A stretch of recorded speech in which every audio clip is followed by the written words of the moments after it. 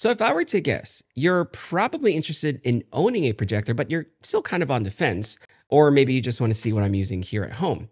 Regardless, I understand the appeal of owning a projector versus a large TV because, for one, once a TV is mounted, well, it's semi permanent. And second, with projectors and retractable screens, you're not stuck to just having one size.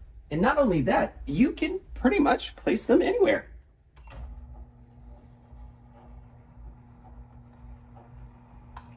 Um, yeah, I was I was trying to go for something cool, but I forgot how slow this thing is. Still a good argument for projectors though. With a minor caveat, of course.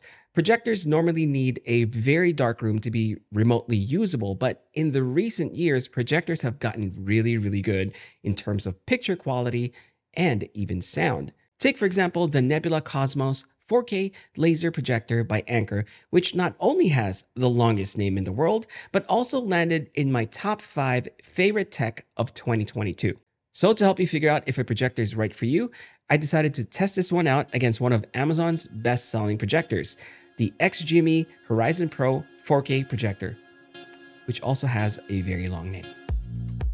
The Nebula Cosmos 4K laser projector sits at the top of Anker's line of projectors. The projector comes with its own remote, and although it feels a little cheap, at the very least, they do come with batteries. Also included is this 4K streaming dongle, which you'll have to install here in the back. Why it doesn't come pre-installed, I honestly don't know. Compared to the other projectors I've seen, this is by far the largest, but it does have a top handle which makes it easier to move around. This projector has controls that are touch sensitive, and this can be a problem in the dark since they only illuminate once you press a button and it's usually the wrong one. Setup was super simple and virtually painless, although I did notice that the autofocus and auto keystone took a little bit longer than expected to engage, but not so long to make the experience terrible. The Nebula 4K laser has two 10 watt full range speakers and two 5 watt tweeters, making the sound rich and full. There's good sound separation between dialogue and sound effects, and I find that it sounds better than most TV speakers.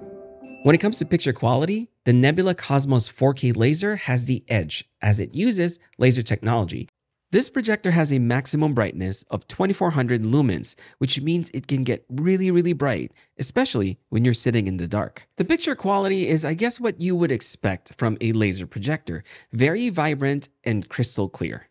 As a matter of fact, I've had to reduce the brightness a couple of times before since it was a little too bright when I'm watching at night. Regardless, the amazing picture quality and very good sound make this a great portable home theater in a box. When I first tested this projector last year, I did it outdoors and I was really, really impressed. So I guess it's no surprise to find that Anker is marketing this projector as the ideal outdoor projector, because I do agree. The Nebula 4K laser is much more expensive than the Horizon Pro at around $2,000. But before we factor price in, let's see what the Horizon Pro is all about. The XGIMI Horizon Pro is one of Amazon's top selling 4K projectors, and it seemed like the best candidate to test against the Nebula 4K laser, so I bought it. Interestingly, the Horizon Pro came in a large box that was in a box wrapped in bubble wrap inside another box. So it came as a surprise when I saw how much smaller it actually was. The raised touch control buttons at the top make them easier to locate in the dark. Not that you might be doing much of that anyway, since XGIMI will send you a nice remote to go with your projector. What they will not send you, however, are batteries. One thing I like about the Horizon Pro is that it's small and light enough to be used with my projector stand. Setup was a breeze as I needed to just plug it in, pair the remote, and make sure it's updated. The Horizon Pro has 40 degrees of auto keystone correction, both horizontal and vertical, and auto screen alignment. What that essentially means is that even if the placement of the projector isn't perfect, the Horizon Pro will automatically adjust to make sure you get the best alignment possible. The Horizon Pro has two 8 watt Harman Kardon speakers built in, and they sound loud, like really loud. I thought they were set to 100%, but apparently they were just around 30. The sound was good, but not great. I would say on par with decent TV speakers, if you consider those type of speakers decent at all. But Truthfully, it gets loud enough to fill the entire room, and people won't have any problems listening to dialogue or hearing the different sound effects. The picture quality is excellent, bright and crisp, and especially vibrant with animated shows or movies. The 3840 by 2160 resolution with 2200 ANSI lumens make it a true 4K projector. The projector runs on the latest version of Android TV, which is decently responsive and supports all of my favorite streaming apps. Well, except for Netflix, which is the biggest downfall of this projector. So if Netflix is your main streaming service, well, you're going to be very disappointed. But from a performance point of view, this makes for a great plug and play compact projector with excellent picture quality and sound for around $1,700 currently. Now, let's get to the things that I like and don't like between these two projectors. Obviously, the Horizon Pro is smaller because it has less tech packed in it, which makes it a bit easier to carry around. However, the Nebula does have a top handle and although simple in concept, makes it more comfortable placing it around your environment. I can literally position it with just one hand. However, if one of your top priorities in choosing a projector is the size, I actually have another suggestion for you in a moment. I do like the fact that the Horizon Pro is light enough that I can use my projector stand. The Nebula 4K laser is too heavy, so I had to use a tripod. Although it is worth mentioning that both projectors can sit on just about any regular surface, I just found that using a tripod and a projector stand is much more suitable for my garage home theater setup. The Horizon Pro's screen quality is good. There's no doubt about it whatsoever. But you just can't deny that the Nebula's laser technology has a clear advantage in overall brightness and picture quality. This is even more apparent in less than ideal environments like this, where it's kind of bright outside. And this is where you actually see the benefits of laser technology. They look better, they are much more efficient, and they last longer. And while the Nebula Cosmos 4K can project up to 150 inches versus the Horizon Pro's 200 inches, the maximum brightness of the Nebula 4K laser is 200 lumens more than the Horizon Pro's. And when it comes to the speakers, the Horizon Pro won't have any problems filling up a room with sound. But the sound coming from the Nebula 4K laser is simply much fuller and much richer.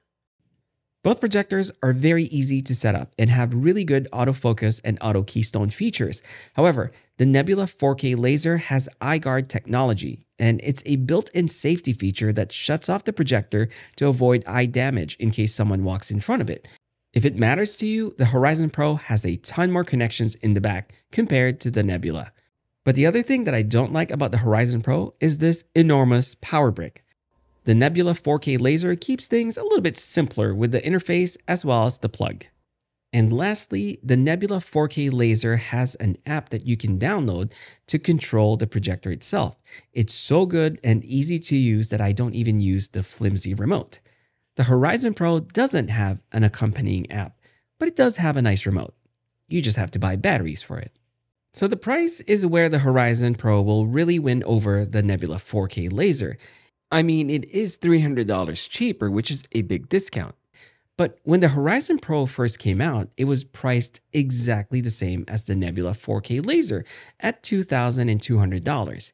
Now, considering the difference of tech between the two, I would say that the Nebula 4K laser warrants its premium price tag over the Horizon Pro. But occasionally they do offer discounts, which puts it very close to the price of the Horizon Pro.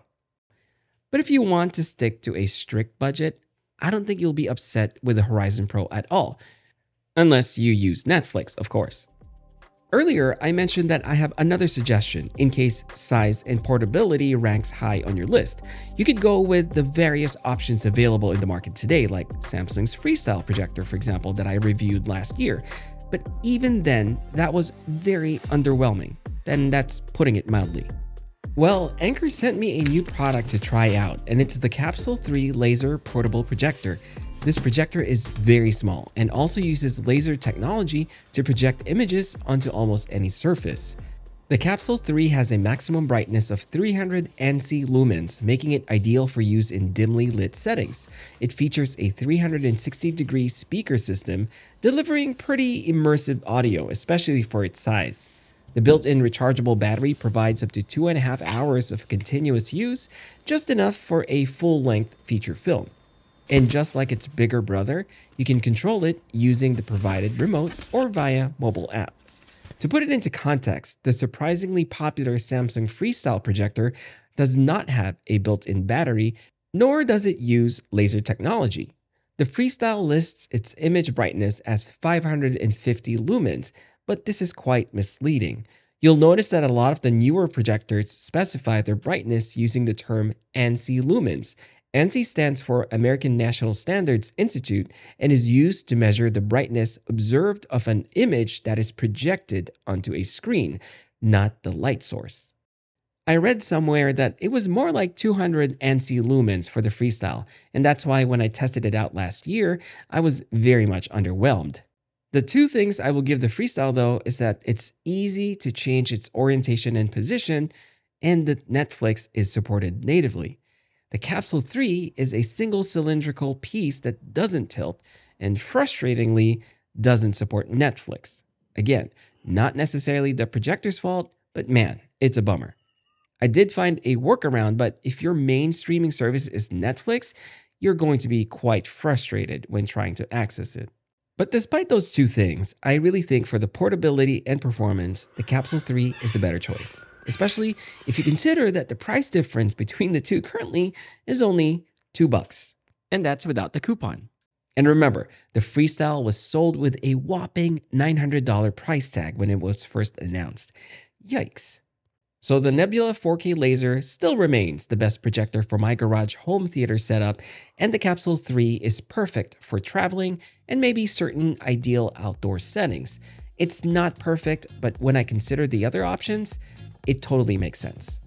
Thanks to Anker for sending out the Capsule 3, and although they did sponsor the projector, my thoughts and opinions are completely of my own.